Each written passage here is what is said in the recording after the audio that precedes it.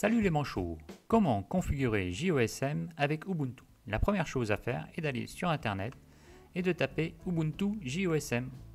Vous allez tomber sur un wiki Ubuntu que je trouve ici. Il vous suffira ensuite de copier la ligne suivante. Vous pouvez automatiser l'ajout du dépôt.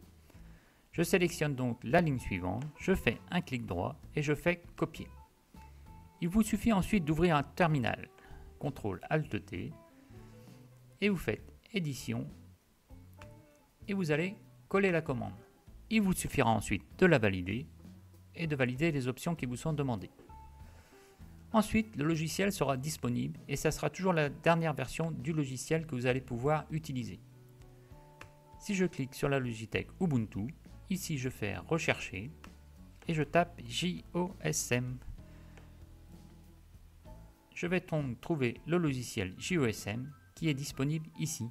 Il faudra donc télécharger la dernière version qui est disponible. Si je vois ici, c'est la version 1.5 SVN et c'est celle-là que je vais utiliser. Ne pas utiliser la version qui se trouve ici, qui est disponible que dans les boutiques des Snap. Ce n'est pas celle-là que je vais utiliser. Pour toute info, j'ai aussi mon site Libre avec un tutoriel. Ici, vous cliquez sur JOSM installation vous arriverez sur les infos nécessaires pour installer et utiliser JOSM de façon très pratique. Nous allons voir maintenant comment utiliser JOSM. Je lance le logiciel JOSM et nous allons le configurer pour une première utilisation. Ici, vous aurez toujours la nouvelle version qui sera mise, mise à jour avec Ubuntu et tous les logiciels associés. La première chose à faire, et que je trouve très utile, il faudra cocher les données GPS. Nous verrons par la suite comment j'utilise les données GPS. C'est en fin de compte toutes les traces GPS que les gens ont fait sur le terrain et envoyées sur OpenStreetMap. Nous allons maintenant configurer les paramètres. Je vais dans Édition, Préférences. Ici, je ne touche pas à ces données. Ici, j'utilise toujours le serveur par défaut. Ici, il sera utile de configurer une autorisation automatique c'est pour valider votre compte et le mot de passe que vous avez enregistré pour le compte GOSM que vous utilisez sur OpenStreetMap. Ici, j'utilise la projection Mercator, qui est la configuration d'origine. Ici, nous allons rajouter des plugins. Alors, les plugins que je rajoute, c'est adresse interpolation, que j'utilise pour mettre à jour les adresses sur OpenStreetMap. Nous allons voir une autre option que je rajoute aussi, c'est le cadastre, qui m'est très utile de temps en temps pour avoir le nom des rues et aussi les adresses. J'utilise aussi un plugin supplémentaire qui est Direct Upload, chargement direct des traces GPS du calque vers le serveur ESM, c'est-à-dire que les traces GPS que j'aurai utilisées, je vais pouvoir les envoyer directement sur Ethernet. Et c'est les seules options que je rajoute moi-même. Ici, il faudra faire valider et ensuite redémarrer le logiciel JOSM. Ici, je vais pouvoir personnaliser ma barre d'outils. La barre d'outils, c'est la barre qui se trouve ici avec des raccourcis très pratiques pour les cartes OpenStreetMap. Je vais prendre un exemple. Je vais par exemple dans les réglages. Souvent, quand je suis sur le terrain, je trouve des sources d'eau et des sources hydrographiques. Je prends un exemple sur source d'eau. Je peux en sélectionner plusieurs si je fais CTRL. Euh, je prends des exemples, hein, l'eau ici. Je vais cliquer ici sur la petite flèche. Cela va m'envoyer les petits raccourcis ici dans le barre de menu qui se trouve ici. Ici, je vais pouvoir faire valider. Si dans les menus, cela ne vous intéresse plus de les avoir dans votre liste, il suffit de les sélectionner et de les renvoyer de l'autre côté.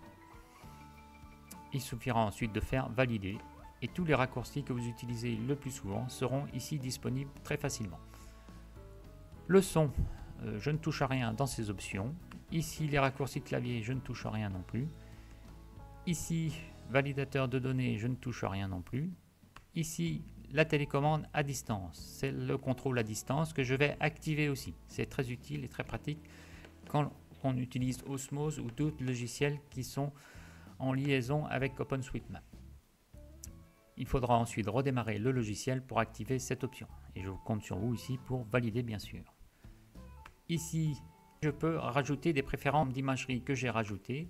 Ici, je tape cadastre, je retrouve le cadastre, je clique dessus et je fais activer pour pouvoir l'envoyer dans les imageries que je vais utiliser. J'utilise aussi l'imagerie Bano. Je tape Bano, très utile pour les adresses de la France.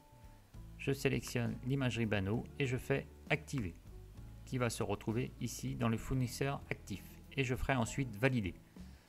Cette imagerie sera ensuite disponible ici, mais nous verrons par la suite dans une utilisation courante. Hop, ici je ne touche à rien. Nous allons voir maintenant toute la configuration que nous avons rajoutée et comment l'utiliser. Ici je vais par exemple télécharger une zone près de Quimperlé et je fais télécharger. Dans le téléchargement j'ai bien coché que je télécharge aussi les traces GPS. C'est celles-ci qui sont téléchargées en arrière-plan ou vous laissez télécharger tranquillement. Les traces GPS, c'est les petits traits roses que vous voyez ici ou violets.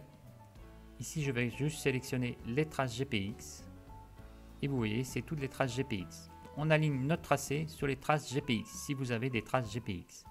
C'est elles qui sont la source exacte pour, pour bien tracer vos données il est possible bien sûr de changer la couleur des traces GPX en faisant un clic droit, personnaliser la couleur, et la trace GPX souvent je la mets en bleu, et je valide.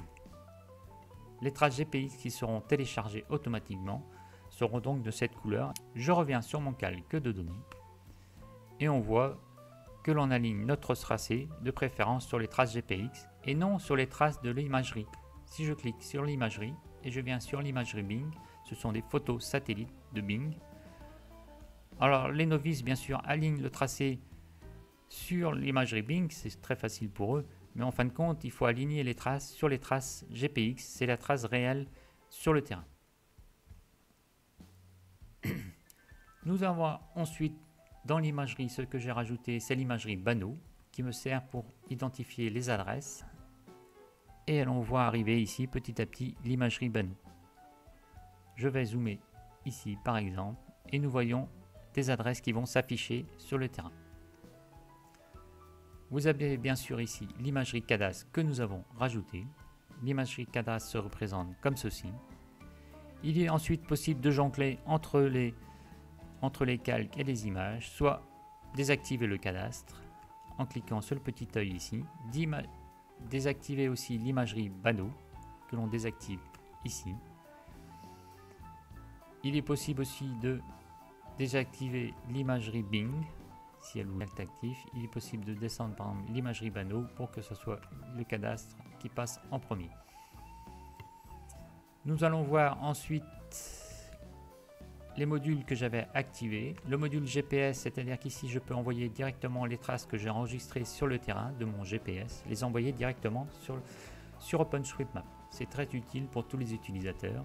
Et en fin de compte, c'est les images que nous allons retrouver ici et qui se trouvent sur le calque, qui sont aussi nommées GPX que nous avons envoyées sur Internet. Ici, je vais voir aussi les fenêtres que j'active sur le côté. Les fenêtres, c'est celles qui se trouvent ici, que je trouve utiles et pratiques dans mon utilisation au quotidien. Bien sûr, la fenêtre des calques qui se trouve ici. Attributs appartement, sélection, les relations, les conflits, les résultats et je coche aussi auteur. Auteur, c'est l'option que l'on trouve ici. Je vais prendre un exemple avec le calque de données. Ici, je veux cocher Max Plus. C'est une donnée qui a été rajoutée par un internaute. Si je sélectionne Max Plus, ici je vois que la donnée a été rajoutée par Libre Quimperlé. Libre Quimperlé, on peut faire afficher les informations de l'auteur. Libre et Quimperlé, bien sûr, c'est moi. Ici, on voit les modifications. C'est les dernières modifications que j'ai effectuées sur le terrain avec OpenStreetMap et bien sûr JOSM. Si je reviens en arrière, je peux voir aussi toutes les traces GPS que j'ai importées et qui sont utilisées par OpenStreetMap, par tous les utilisateurs pour comparer les traces GPX entre elles. Et j'utilise donc le module qui est ici pour envoyer mes traces GPX directement sur Internet. Nous allons voir aussi les modules complémentaires que j'ai rajoutés avec les plugins qui se trouvent ici, données, interpolation d'adresse et house number tagging que j'ai oublié de vous dire de rajouter dans les plugins. Ces modules seront très utiles pour mettre à jour les adresses sur le terrain. Je vais finir par la barre d'outils qui se trouve ici avec tous les modules que j'ai rajoutés, que je trouve très pratiques au quotidien et que j'utilise régulièrement. Et je vous dis Kenavo et à bientôt pour une prochaine vidéo.